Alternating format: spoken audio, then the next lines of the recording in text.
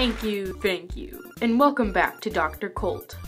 Our special guest today is BUCK. BUCK. BUCK. Our special guest today is Buck. BUCK.